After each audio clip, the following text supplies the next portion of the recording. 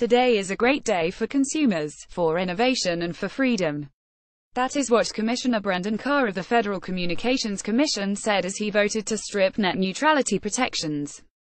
Whenever people tell me that we are on the verge of new, undiscovered freedom for consumers, I always feel a little nervous. Unprecedented freedom for consumers is usually what people call it right before placing rabbit hedgehogs in the stocking stuffer display. Before, you only had the choice of things you wanted that would make appropriate gifts. Now, you might also get a rabbit hedgehog. What a day this is for the consumer. I'm sorry, all I have are bad analogies that will not cheer us in the face of this news. But it is bad news. The internet has functioned without net neutrality rules far longer than with them, said FCC Commissioner Michael O'Rielly. This decision will not break the internet. Also, O'Rielly was annoyed that certain people who will remain nameless had used the internet to say that he looked like a potato, but I am sure this did not factor in his decision. He may have wanted to throttle them, but not their internet service, surely. O'Rielly points out that internet service providers, such as FCC Chairman Ajit Pai's former employer, Verizon, say these restrictions are strangling their ability to grow and innovate, and we so want to unleash them to innovate to O'Rielly's point that, for years, there were no such restrictions, and the internet blossomed and grew. Consider the following analogy it may not be technically illegal to bring a bear into a maternity ward, but we have, I think, started to live our lives with the expectation that nobody will do this, so if we put forth a rule saying, just so we're clear, no bears in the maternity ward, I would not expect anyone to complain that this was stifling innovation.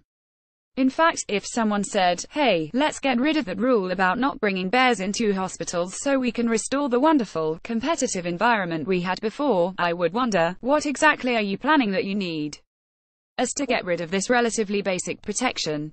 The good news is that, according to the FCC, the free market frowns on people releasing large numbers of bears into hospitals, so it probably will not happen.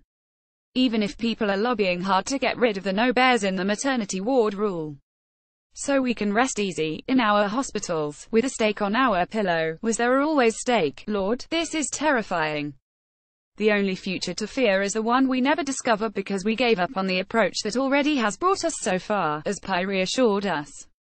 This is also why we cannot ever regulate firearms. Besides, think of the consumer, hungry for more options. Now, he has the option of getting worse service unless he pays more money, an option he did not well, legally have before woohoo. Congress can still fix this, I start to type, before having to stop in order to double over with hysterical laughter that swiftly turns into tears. On the bright side, Pai made this video, either to lift our spirits or to make us want to leave the internet forever. In it, he points out that with the new rules, nothing will change for you goofballs. You can still gram food, and do the Harlem Shake, and enjoy your favorite memes. Ha, that is all the internet is for. Dumb things it is not a portal to all information in the world and the place where the vast majority of communication lives, access to which is basically fundamental to modern life. Without recourse to bare analogies, FCC Commissioner Jessica Rosenworcel made this point, our existing net neutrality policies are wildly popular. With the new rules, internet service providers will have the power to block websites, throttle services and censor content. They will have the right to discriminate.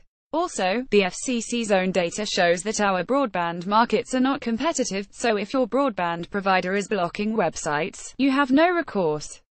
In conclusion, this is not good. Not good. Today is a great day for the consumer. Before, we had the option to have recourse, but now, thanks to the FCC's prompt action, we have the new exciting option of having no options or recourse. The sky is not falling, consumers will remain protected, and the internet will continue to thrive, said Chairman Pai.